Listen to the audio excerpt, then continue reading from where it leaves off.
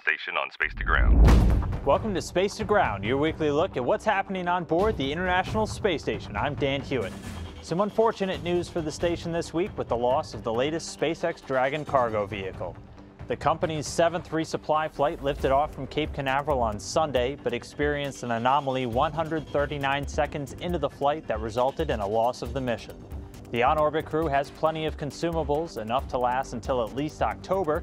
To see how things were going, we checked in with astronaut Scott Kelly aboard the station.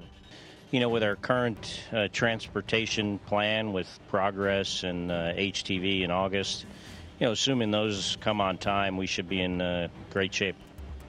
And that Russian Progress vehicle is already on its way to the station.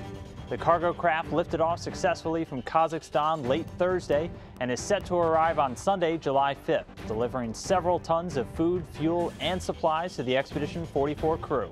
As always, for the latest updates on this mission, visit nasa.gov/station. A big milestone was reached this week as cosmonaut Gennady Padalka became humanity's most experienced spaceman.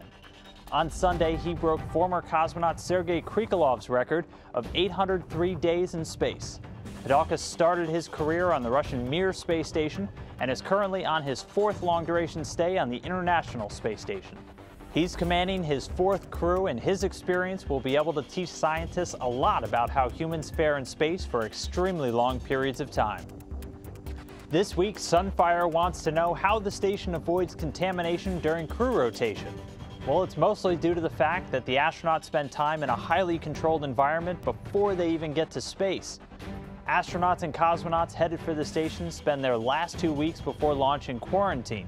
Special attention is paid to who gets to see them to make sure they don't come into contact with any sick individuals before liftoff. Make sure to keep sending your questions and comments using the hashtag SpaceToGround. We'll see you next week.